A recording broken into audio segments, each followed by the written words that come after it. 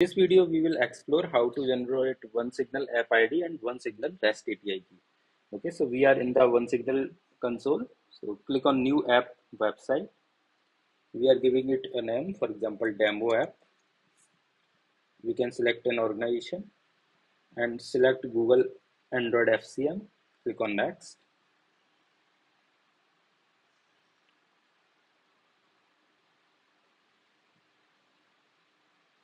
now it is asking for service account json. Okay so we need to go in the firebase console.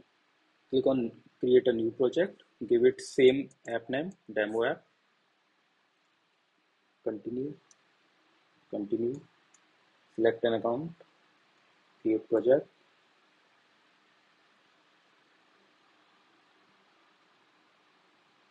It will take around 30 seconds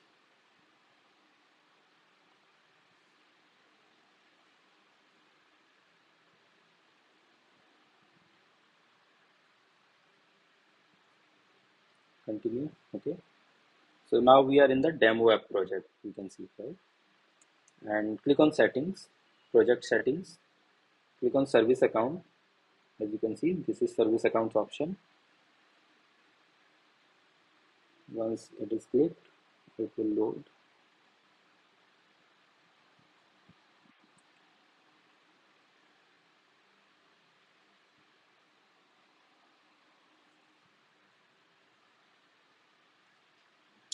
we can create a new private key generate key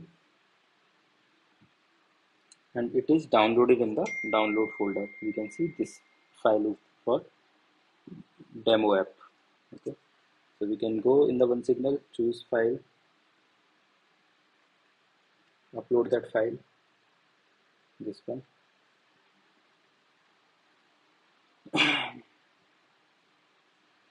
upload completed save and continue. Click on uh, flutter because we are developing flutter app. Save and continue. Okay done.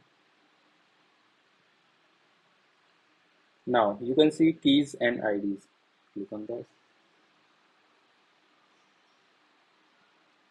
Now there is an option add key we will click on it. You can give some name for example android app.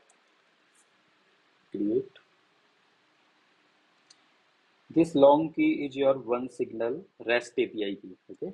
So put this in the last field OneSignal rest api key. Copy to clipboard and paste in the web to web pro. Continue. And at the above you can see OneSignal app id this one is your OneSignal app id okay enter this in web to web pro and notification will work in your app. Thank you